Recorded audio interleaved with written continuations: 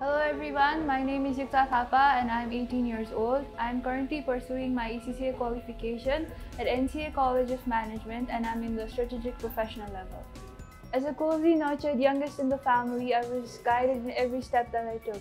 My father gave quite a lot of information about ACCA, the pros, the cons, everything were discussed during our family discussions.